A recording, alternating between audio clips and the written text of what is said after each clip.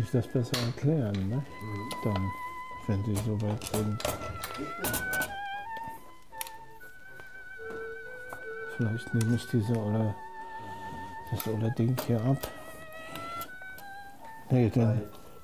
Herr Pahl, wie sah denn damals das Handwerk eines Filmkameramanns aus und womit wurde damals gearbeitet?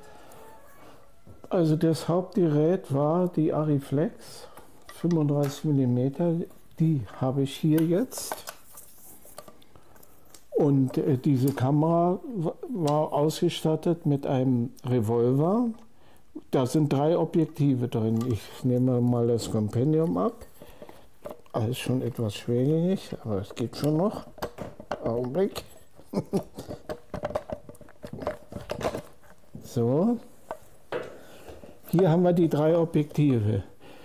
Also einmal ein Normalobjektiv, 32 mm, dann ein Objektiv 50 mm und eins 85 mm. Die konnte man mit dem Revolver so rumschwenken.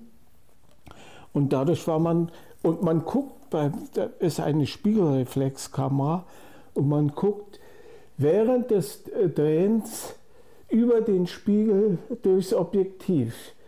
Dadurch hat man keine Parallaxe und hat also ein, ein, ein einwandfreies Bild. Das ist eine Kamera, die wurde damals von Arnold und Richter für die Propagandakompanie der Nazis entwickelt, für die Frontberichterstattung, äh, weil diese Kamera eben sehr beweglich war und kein Federwerk hatte, über Akku betrieben wurde und äh, man eben auch schnell mit, äh, mit konnte und eben schnell die Objektive wechseln konnte und so bewegte Situationen äh, gut einfangen konnte.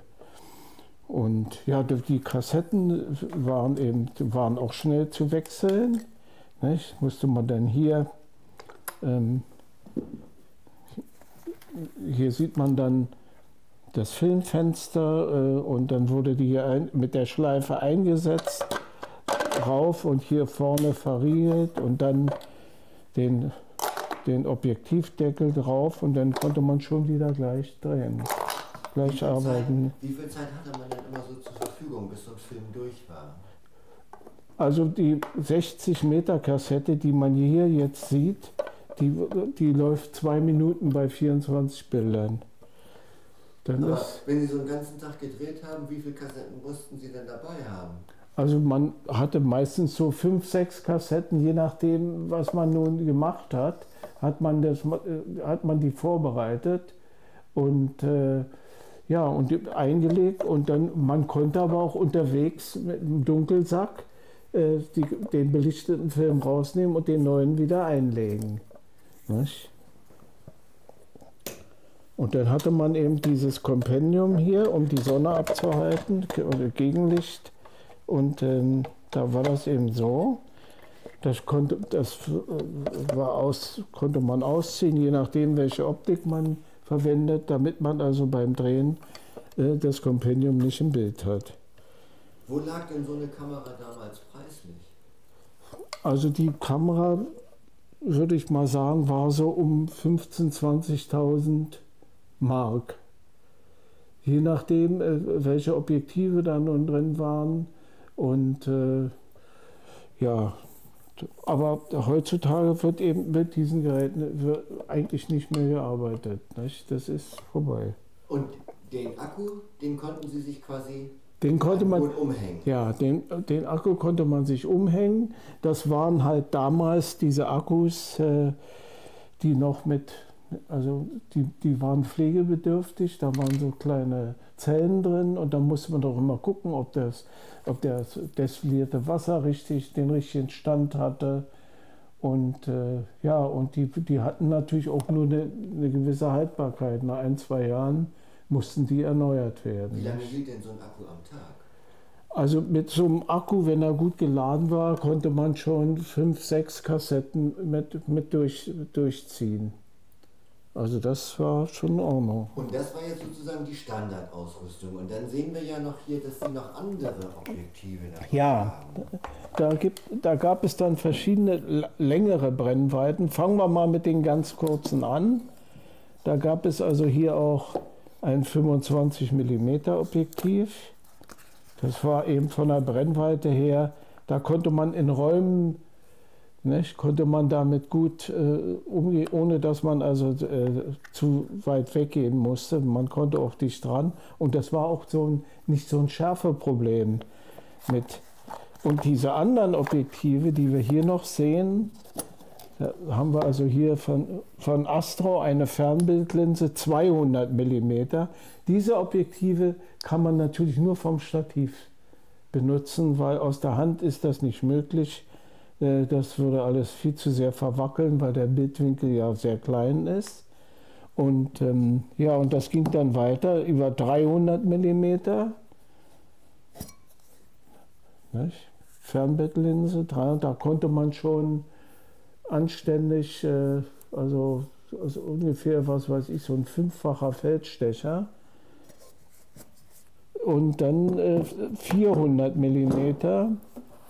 Da musste man schon, weil die Optik ja sehr lang und schwer ist, die musste dann mit einem extra Teil noch gestützt werden an der Kamera, weil das sonst den Revolver beschädigt hätte.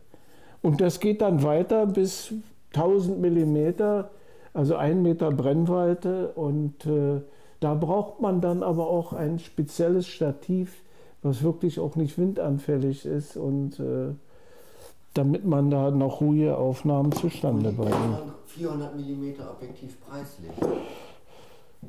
Also das kann ich jetzt nicht genau sagen, aber ich würde mal vermuten, dass so ein Objektiv damals bestimmt äh, an die 2.000, 3.000 Mark gekostet hat.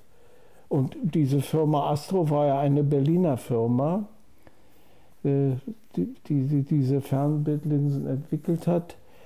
Aber diese Firma äh, gibt es heute leider nicht mehr. Die sind also im Zuge der Entwicklung wohl dann äh, haben die in den Betrieb eingestellt. Und wir hatten dann damals, wenn wir also Aufnahmestände hatten, wo wir, die wir schon vorher aufgestellt hatten, wo wir noch selber noch nicht da waren, sondern den, die Position sozusagen festgelegt hatten, dann wurde dort ein Schild angebracht, damit also niemand äh, der sich darauf stellt und, oder, oder das eben sogar wieder wegnimmt und dann hätte man am Boden gestanden. Das bezieht sich jetzt darauf, es gibt ja die Fotos äh, von der Wochenschau mit den ganzen Mercedes-Caravans, Ja, wo dann oben auf dem Dach ja, ja. Also die, also 1957 hat die Wochenschau mehrere Mercedes äh, Autos angesehen. Es gab damals noch keine Kombis. Die Kombis, da wurde nur eine halbe Karosse, wurde an eine Spezialkarosseriefirma geliefert und die haben dann diesen Kombiaufbau da angebaut um die, um die ganzen, äh, und dann- war das auch so, da wurden Zeichnungen gemacht, was da alles rein musste und wo das sein. Da musste hinten auch noch jemand sitzen, der, der war auch klappbar, dieser Sitz. Aber das waren Spezialanfertigungen von äh, Karosseriefirmen. Mercedes hat dann nur äh, den, den Vorderteil des Autos geliefert und der Rest wurde dann da in der das war eine teure Angelegenheit. Kombis kamen erst äh, später auf den Markt. Und so haben wir damals eben auch mehrere Limousinen gehabt, wo wir dann eigentlich nur den Kofferraum zur Verfügung hatten, was natürlich nicht so praktisch war. Ne? Später dann, als also auch der Ton äh, sich mehr verbreitet hat, also das heißt Interviews gemacht wurden, da wurde dann auch ein Tonmeister mit, äh, mitgenommen, aber dann gab es so ein, so ein Stoff, ein Stoffblimp, um diese laute Kamera äh, zu dämmen. Also de- den konnte man darüber ziehen und dann war das zwar immer noch da, aber nicht mehr so präsent und wenn man etwas weiter Abstand mit der Kamera etwas längere Brennweite benutzte, dann war das eine ganz gute Lösung. Aber dann gab es natürlich später äh, die, die ARIBL, also eine, eine vollgeblimmte, also vollgeräuschgeschützte Kamera. Und mit der konnte man dann auch im Atelier drehen und äh, also wirklich die Personen auch in ein Meter Entfernung aufnehmen, wenn sie gesprochen haben, ohne dass die Kamera zu hören war. Und heute ist das ja mit den Videokameras nun überhaupt kein Problem mehr. Und von daher ist das also auch alles sehr viel einfacher geworden.